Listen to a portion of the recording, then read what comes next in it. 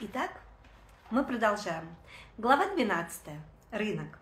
Все рынки во всем мире похожи один на другой. Отличие лишь в продаваемых товарах. Те же лавки, те же зазывалы, те же воришки, хуже которых лишь сами продавцы, готовые обобрать тебя до нитки.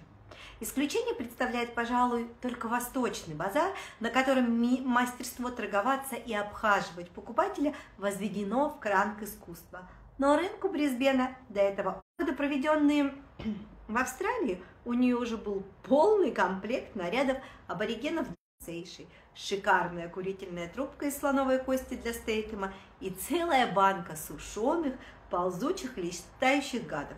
Правда, Марта еще не, не определилась, кому их подарить.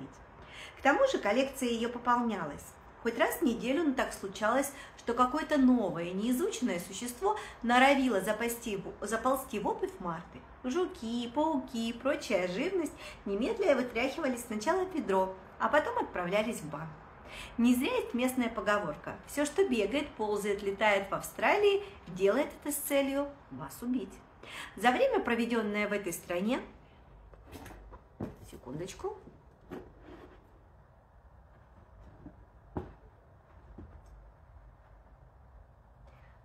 За время, за время, проведенное в этой стране, рынок стал для миссис Петерс скорее традицией, нежели реальным местом для покупки товаров.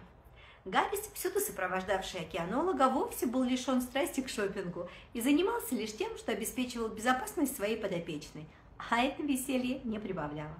Подданные короны неспешно двигались вдоль рядов, рядов где-то глубоко внутри, ожидая одного и того же, кто первый не выдержит и прервет унылый уикенд. Уикенд в Англии выходные, это выходные дни в конце рабочей недели. Длится с вечера пятницы до утра понедельника. Наконец Марта остановилась у лотка с какими-то ритуальными амулетами и снадобьями. Оглядев содержимое лавки, она обратилась Оглядев содержимое лавки, она обратилась к своему спутнику. «Скажите, мой друг, а правда, что здешние колдуны могут лечить болезни, влиять на природные явления и даже вызывать духов? Ирония, прозвучавшая в словах женщины, казалось, совсем не смутила Гарриса. Ну, во-первых, я бы не стал называть их колдунами. Это крайне неуважительно по отношению к местным. Здесь их кличут шаманами. А разве это не одно и то же, удивилась Марта? Совсем нет. К колдуны – это всегда отрицательное звание – люди, творящие зло и желающие нанести вред другим. Шаман – это друг, это помощь в сложной ситуации, когда власть, церковь или врачи в беспомощности разводят руками и идут к шаману. Ясно. А во-вторых, Гаррис вопросительно посмотрел на Марту. Что? Миссис Петерс улыбнулась в ответ на реакцию лейтенанта. «Гаррис, вы сказали во-первых, а значит, должно быть и во-вторых. Ах, да! Казалось, мужчину ирония совсем не затронула. Наоборот, его лицо стало более серьезным. Вы про их способности? Гаррис на секунду задумался, потом, собравшись с мыслями, продолжил.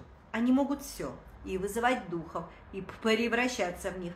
И скажу вам честно, я бы не стал этого проверять.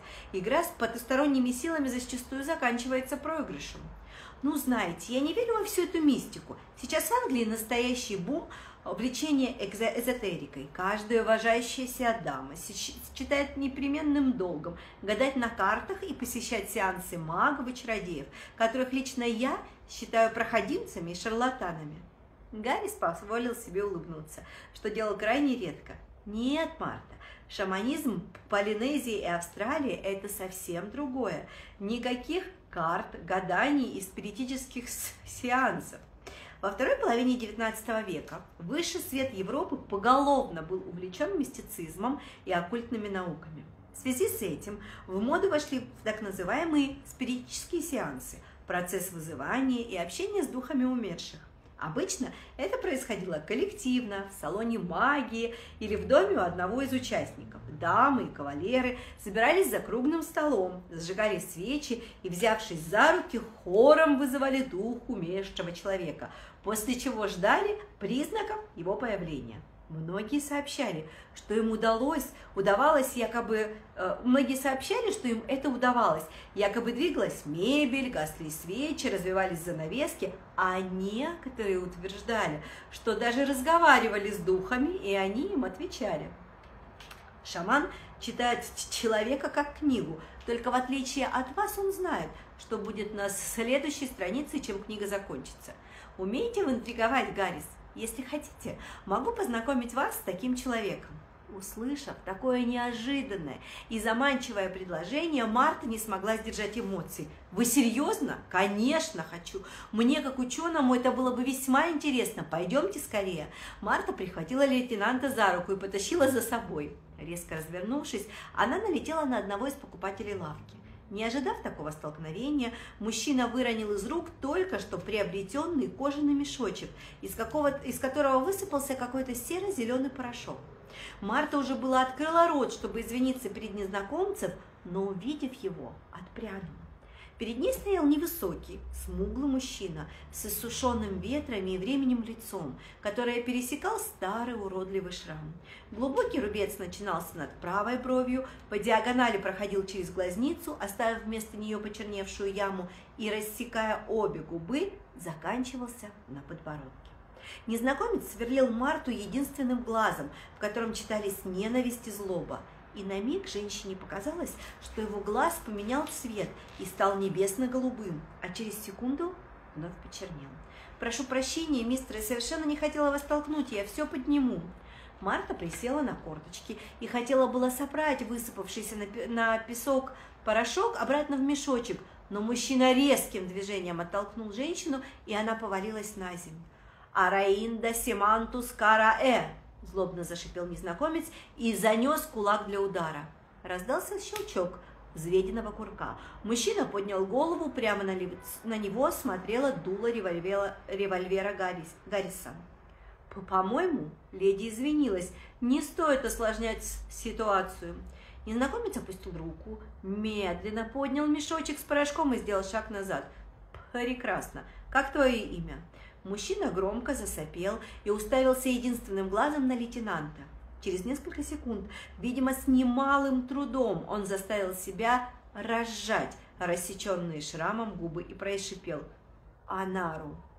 Я запомню это имя на всякий случай. А сейчас пожмите друг другу руки, и мы разойдемся. Гаррис помог подняться Марте с песка. Ничего не понимающая миссис Петерс, отряхнувшись, протянула незнакомцу правую руку. «Смелее, она тебя не укусит». А Нару, сделав еще одно усилие над собой, медленно протянул руку навстречу женщине. И в последний момент его взгляд упал на браслет, подаренный Эйшей. И в тот же миг с незнакомцем стали происходить странные метаморфозы. Его как будто начало выворачивать наизнанку. Мужчина зашипел и, бросив полный ненависти взгляд на Марту, скрылся в толпе. Миссис Петерс в недоумении посмотрела на Гарриса. Что это с ним? Не знаю этих туземцев, не знаю этих туземцев трудно понять. На каком языке он говорил? Впервые слышу этот диалект. Скорее всего, он приезжий. Странно. Марта задумчиво опустила голову. Мне кажется, я уже слышала этот язык. Только вот где? Не могу вспомнить. Выбросьте его из головы, миссис Петерс. Больше он вам досаждать не будет, если, конечно, не хочет получить пулю в лоб. Вы еще не передумали посетить шамана? В глазах женщины вновь вспыхнул азарт. Конечно, нет. Тогда мне следует отдать ряд распоряжений, а вам начать готовиться к отплытию. Миссис Петерс удивленно посмотрела на спутника. «А разве шаман находится не в Брисбене?» Лейтенант улыбнулся. «Конечно нет». Последнюю фразу Марта улыбнулась, взяла Гарриса под руку, и они отправились прочь с рынка. Глава 13. Хижина шамана. Знакомить Гаррис обосновался на окраине северного острова Новой Зеландии, поэтому путь туда предстоял не близким. Отплыв вечером, вечером из Брисбена, только к обеду второго дня они были в нужном месте. Вдали от поселений колонистов и па-аборигенов на береговой возвышенности стояла небольшая хижина. Па – это такое укрепленное поселение майорийских племен. Маорийских племен. Подойдя ближе к жилищу, Марта обратила внимание, что на нем не было ни одной вывески, афиши или даже рекламного плаката. Своим наблюдением она тут же поделилась со спутником – а ему и не требуется вывеска. Это самый сильный шаман на всю Австралию, Полинезию, Микро и Меланезию. Слава о нем идет очень далеко и приводит людей сюда. А здесь нам точно ничего не угрожает. Все-таки мы в зоне боевых действий. Не стоит беспокоиться, ни один маори не поднимет оружие вблизи дома шамана. Марта показала пальцем на выжженный силуэт ящерицы над входной дверью. А что это за изображение? Это мока. Мока с одного из полинезийских языков переводится как ящерица. Это мока. Полицей, полинезийцы верят, что предком человека был геккон. Геккон это семейство небольших и средней величины своеобразных ящериц, способных держаться на самых гладких отвесных поверхностях, даже на стекле, благодаря особому строению лап. А полинезийцы верят, что предком человека был геккон, и нередко духи, желающие пообщаться с людьми, приходят к ним в виде ящерицы. В здешних местах это священное животное, символ сверхъестественных сил, приносящий удачу и дарующий связь с потусторонним миром. Изобразив ящерицу на стенах своего жилища, ты оберегаешь его от проникновения злых духов. Ого! Вот сейчас и посмотрим, пропустит ли она нас. Марта направилась было к двери, но Гаррис остановил его. Не спешите. Нельзя просто так ворваться в дом шамана за нами должны прийти. Вскоре дверь хижины отворилась, и на пороге показалась девушка лет 25. Ее черные, как смоль волосы, были собраны в два тугих хвоста, обвязанных красной лентой, которые спадали по плечам. Лицо было покрыто разноцветными узорами. Приглядевшись, Марта поняла, что это не татуировки, какие она видела ранее у Маори, а обычные рисунки красками. Некоторое время девушка оценивающе разглядывала миссис Петерс. Наконец, удовлетворив свое любопытство, она перевела взор на Гарриса. «Рада видеть тебя, Ланпайн. С чем пожаловал?» Ланпайн с английского «одинокая сосна». «И я рад тебе, Ата, мы пришли к твоему отцу». Ата на языке маори означает «заря». Ждите. Не сказал больше ни слова, девушка закрыла дверь. Марта вопросительно посмотрела на лейтенанта. «Лампайн? Серьезно? Почему она вас так назвала?» Любому, кто бы был в этот, любому, кто бы в этот момент посмотрел на Гарриса, стало бы ясно, что этот вопрос ему неприятен, поэтому он ответил уклончиво. Это очень долгая история, Марта. Ну, судя по всему, нас примут не скоро, так что я готова ее выслушать как-нибудь в другой раз. Миссис Петерс была не из тех, кто быстро сдается, и наверняка допытала бы Гарриса, но ей помешала открывшаяся дверь хижины. На пороге вновь стояла Ата. «Матакине примет вас, проходите». Матаките на языке маори означает «видящий». Пока Гаррис и Марта шли к хижине, лейтенант тихо обратился к спутнице. В отличие от своей дочки, Матакита не говорит по-английски, и я буду говорить с ним на языке маори и переведу все, что он скажет. Убранство хижины шамана было довольно аскетичное. Две развернутые пучки трав, черепа животных, перья и сушеные лапы каких-то птиц. В общем, было на что посмотреть. Удивил Марту и сам шаман. Небольшого роста, плотный мужчина с испещренными морщинами лицом. Был явно не молод, если не сказать стар – Однако его движения были плавными и точными, никакой тебе старческой дрожи и неповоротливости, глубоко посаженные глаза смотрели внимательно и цепко. Он стоял в самом центре своего жилища, встречая гостей. Женщине показалось, что когда они с Гаррисом вошли в хижину, то ее будто обдуло, как бы легким теплым ветром, хотя все окна были закрыты. Впустив европейцев, Ада закрыла дверь и молча присела в углу на один из табуретов. Взяла в руки деревянную плошку, насыпала в нее какие-то зерна и стала методично растирать их небольшой каменной ступкой, забыв о пришедших. Лейтенант снял шляпу и, улыбаясь, словно старому знакомому, протянул шаману руку. Хи, хипаи, ките, тите, кое, иа, матаките. Рад тебя видеть, Макита. Киа, тау тепай, кое, лонпайн, Каоре, Иро, Текитенга и А Татоу Ваахи. Мир тебе, Ланпайн, довольно тебя было, давно тебя не было в наших краях. Голос Матакиты звучал тихо и мелодично, словно убаюкивая.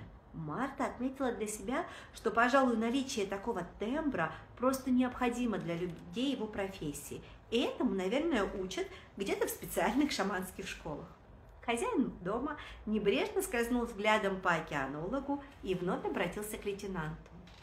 Хиаха и пута айкои и тенеива. Что привело тебя на этот раз?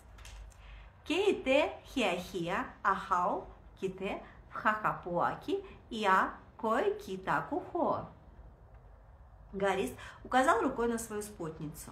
Ко миссис Марта Петерс, хи Каимата И Уру Кингамахи Аку Ако А Гавааки Махау Катеа Э Коэте Абхина и А и А Рота Итана Махи.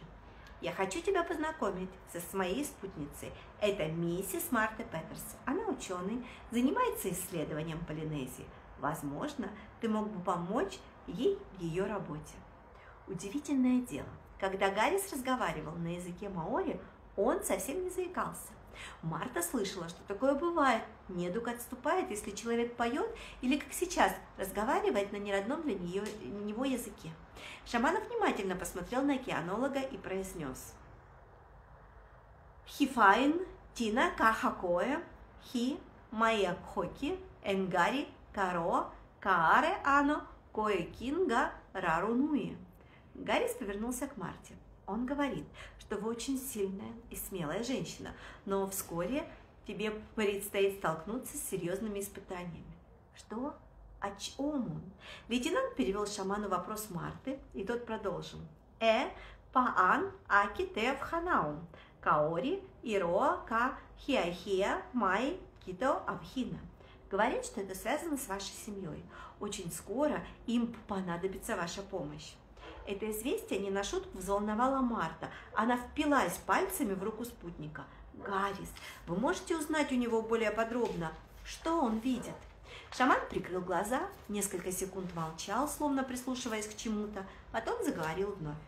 Матау и те тахунга макути, хи таура пита мите кахохи котахи. Марта внимательно его выслушала, хотя не поняла ни слова. А когда, а когда Матакита закончил, затрясла руку Гарриса. Что? Что он сказал? Он говорит, вам надо бояться колдуна. Какого еще колдуна? По понятия не имею. Какой-то разрисованный человек. Марта, будучи человеком ученого мира, попыталась все взвесить и оценить рационально. Ну нет, с моей семьей все будет в порядке. Никаких колдунов не существует, мы же не в сказке живем и не в средневековье. Черт возьми, Гаррис, с вашими шаманами до смерти меня перепугали. Гаррис покачал головой. Вы можете ему не верить, но осторожность не бывает лишней. Хотите вы или нет, я все-таки попрошу у него помощи. Лейтенант вновь обратился к, Мака... к Матаки... Матаките. Кей акой хи амулет арай мотаку ко. Есть ли у тебя защитный амулет для моей спутницы? Впервые за всю беседу Марта увидела, как Матакита улыбнулся. Каоре иа э хиахия ки а иа. Хи каха акете амулет и те Миакаоре – это ринга, оте ринга-ринга. Ей он не нужен. Амулет-то сильнее того, что у нее на руке, не существует. Когда лейтенант перевел сказанное Марте, она окончательно успокоилась. «Ну вот видите, я же говорила, что все это бредни. Этот браслет сприла мне моя дочь перед отплытием, отплытием сюда. Он не волшебный, а совершенно обычный, сплетенный из ниток, купленных на рынке Пензаса за 6 пенсов. Пойдемте уже домой. Гаррис, Хватит на нас сегодня острых ощущений. Марта попрощалась с Мартакитой и уже подходя к двери услышала, как шаман что-то произнес. Женщина обернулась. «Гаррис, что он сказал?» Лейтенант лишь отмахнулся шляпой. «Ничего существенного, миссис Петерс. Обычное прощание Маори». И тут сидящая все это время молча Ата произнесла. «Не совсем так, миссис.